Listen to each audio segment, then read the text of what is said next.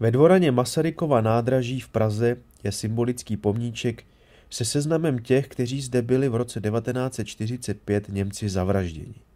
Železničáři ostatní. Pamětní deska jako tisíce jiných. Vzpomínky na hrůzy válečných let vybledly.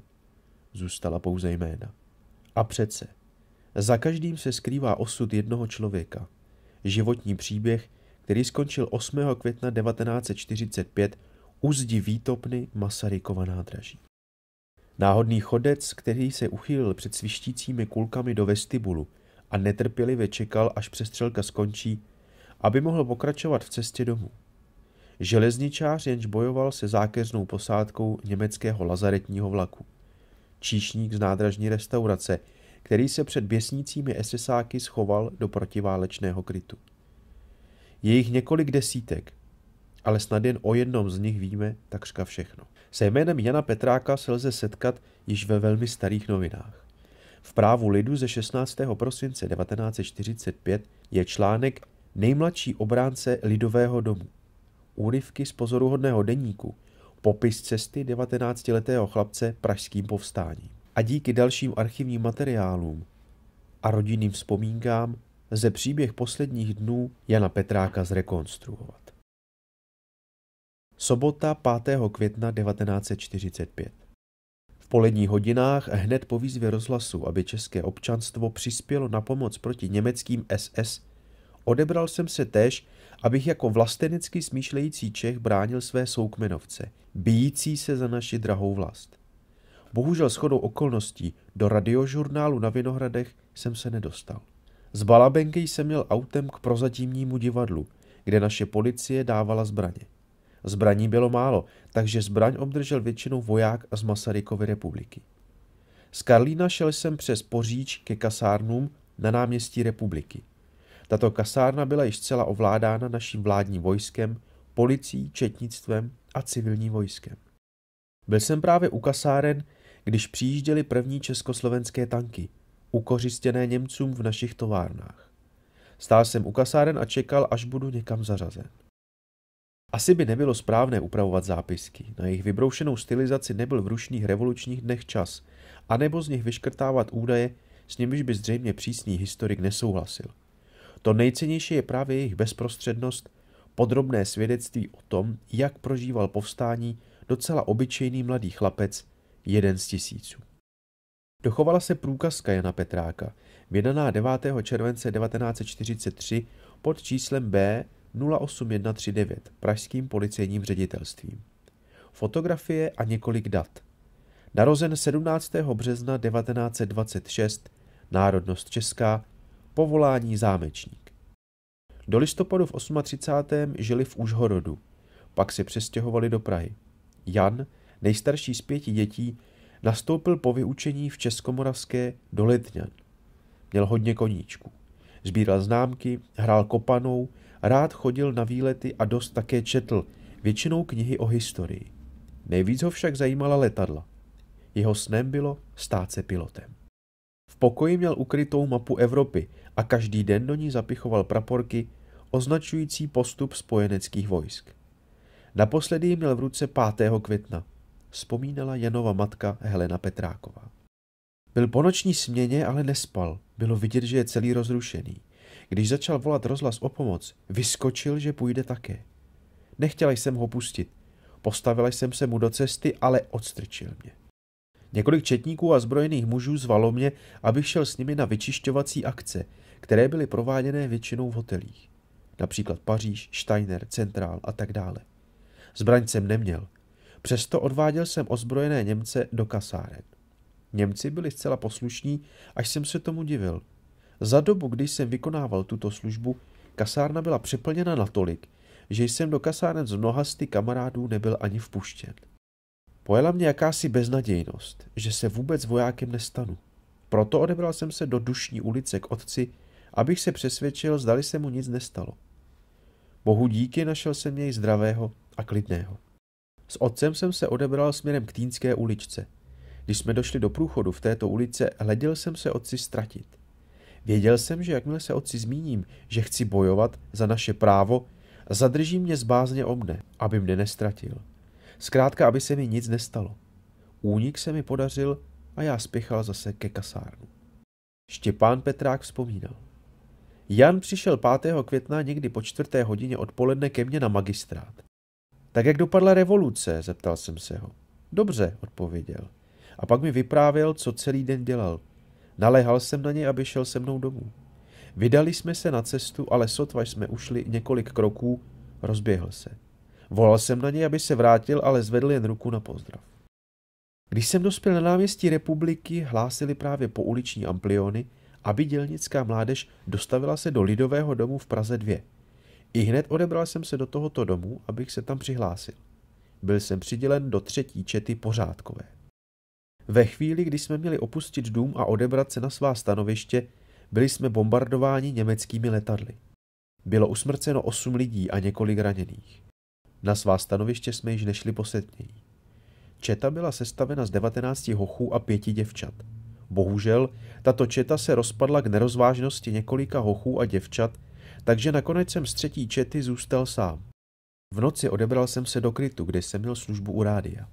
Sledoval jsem všechny zprávy, ať již to byly z Londýna nebo Moskvy, zkrátka zprávy, které byly pro nás důležité. Byly to zprávy smutné z počátku, ale potom radostné z vítězství našich oddílů. V noci byla zima. Nespal jsem celou noc.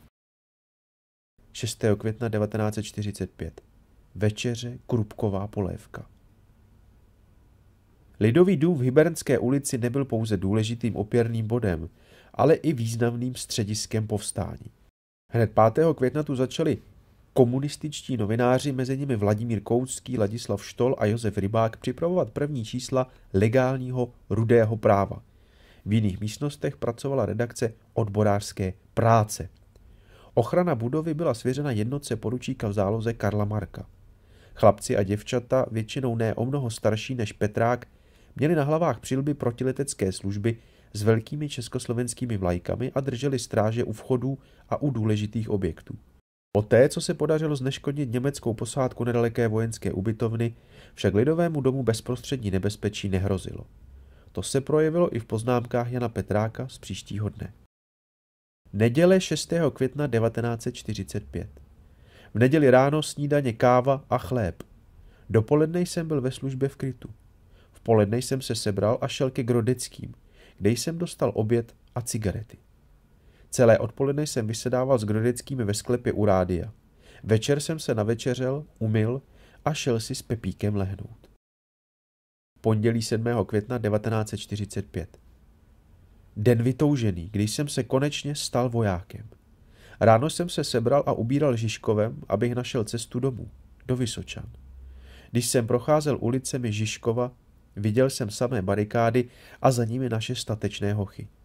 Každému zírala z očí odhodlanost nasadit svůj život za vlast. Musel jsem procházet opatrně, protože z vrchu a z památníků odboje ostřelovali Němci ulici. Když jsem přicházel k asu, zasvištěla mi kulka těsně u ucha. Došel jsem až k ohradě. Zde jsem se zastavil a informoval, zda se dostanu do Vysočan. Ale i pouhý pohled mi stačil, abych viděl, jak se věci mají. Ze školy na Pražačce stříleli Němci. Z nákladového nádraží blížila se Vlasovova armáda. Vznikly přestřelky mezi Němci a těmito sbory. Nezbývalo mi, než ustoupit zpátky do Prahy. Vrátil jsem se na místo, kam mě volala povinnost. Byl to lidový dům. Když jsem prošel stráží a odebral se do podzemního krytu, zaslechl jsem hlášky, že se po mně schánilo velení. Odebral jsem se i hned na velitelství, kde jsem byl zařazen do bojové skupiny číslo jedna. Dostal jsem ještě lístky na oběd a šel obědvat. K obědu jsem dostal krupkovou polévku, hovězí na majoránce a knedlík. Po obědě jsem nastupoval na stráž. Obdržel jsem přilbu a pistoli ČZ ráže 765 a v jednu hodinu nastoupil stráž u vchodu do Hybernské ulice. Několik minut po jedné hodině přijeli k Prašné bráně naše tři tanky a ostřelovali německá hnízda odporu. V několika minutách, kde odpor nepřestával být ticho, naše tanky Němce vyřídili. Stál jsem na stráži dvě hodiny, to jest do tří hodin.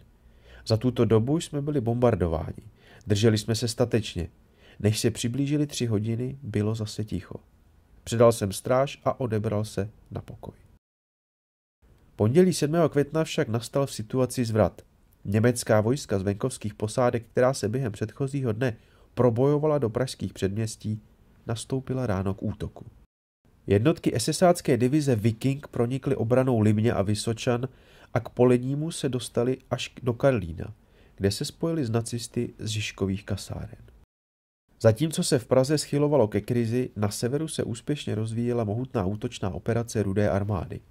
Vojska prvního ukrajinského frontu pronikla do večera 7. května pod severní svahy hlavního hřebene Krušných hor a chystala se překonat tuto poslední velkou překážku na cestě do Československa.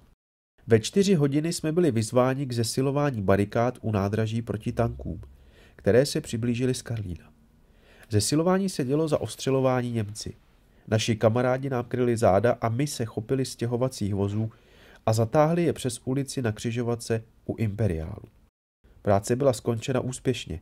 Viděl jsem raněné naše vojáky, kteří i přes svá zranění bránili se za barikádami, aby tak odrazili Němce. Po těchto pracích jsem si šel lehnout, protože službu mám v 11 hodin večer. Chvíli jsem spal a vzpomínal na naše ve Vysočanech. V sedm hodin jsem šel k večeři. Měl jsem dva buřty, chléb a pivo. Scházely mi cigarety, zvláště v tak kritické chvíli obrany, jak proděláváme nyní. Nervóza člověku neschází, ale bázeň jsem vůbec nepoznal, i když to bylo v nejhorším. Určená služba provedena v tichosti. 7. května večer. Sedím večer před službou v krytě, kde leží mnoho žen a mužů. Naproti mě leží několik děvčat. Cítím, že jsem středem jejich pozornosti. Snažím se na ně usmívat, ale mé nitro je smutné. Vzpomínám na rodiče a sourozence. Co asi dělají? Zdali na mne myslí? Ano, myslí. Strachují se o mne. Nebojte se, rodiče. Nic se mi nestane. Zápisky Jana Petráka dostávají na těchto místech zcela jiný ráz. Už nelíčí jen to, co vidí kolem sebe, ale snaží se zachytit i běh svých myšlenek. Pesimismus se v nich střídá s nadějí, smutek s vírou ve vítězství. Jako v zrcadle odrážejí i všechno to, co do podzemního krytu proniká zvenčí. Rozhlasové zprávy, zvěsti, které přináší každý nově příchozí. Pocity, jež ovládají lidi, které do lidového domu nepřivádí jen povinnost, ale i náhoda. Několik desítek metrů odtud vzplanul boj o Masarykovo nádraží. Německé tanky prorazily k Bulharu, jiné začaly ostřelovat barikádu na Poříčí.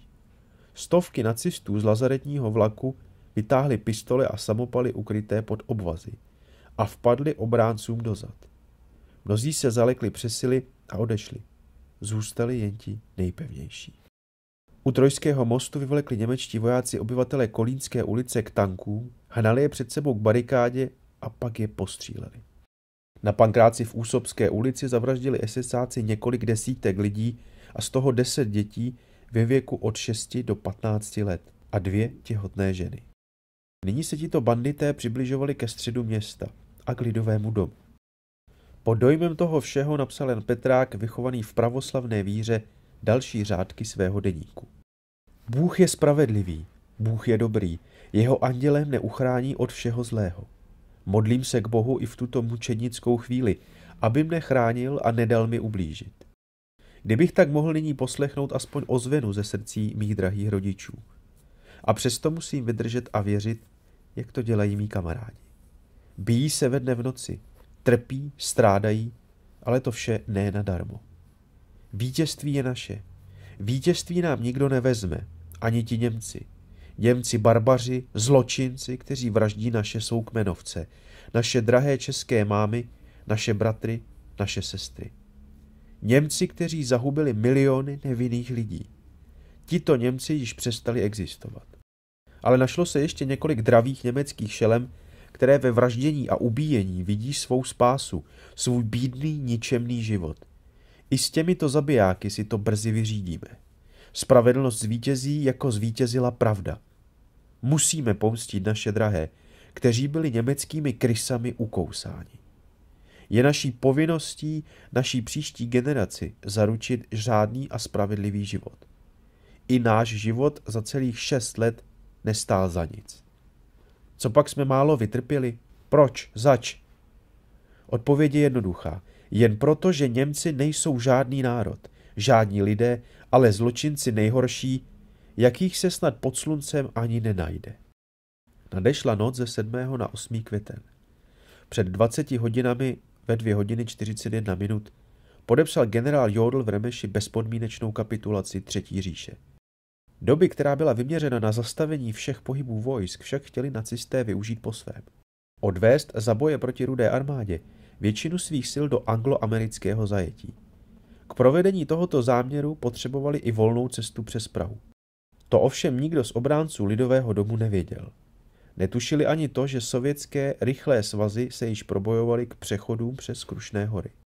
S napětím sledovali cestu několika amerických bojových vozidel ku Praze a nikdo jim neřekl, že jde pouze o styčné důstojníky, kteří mají německým štábům potvrdit zprávy o kapitulaci a sondovat situaci.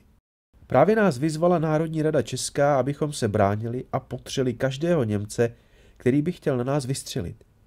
Je deset hodin a já v jedenáct nastupuji. Bude mi vedro? Uvidíme.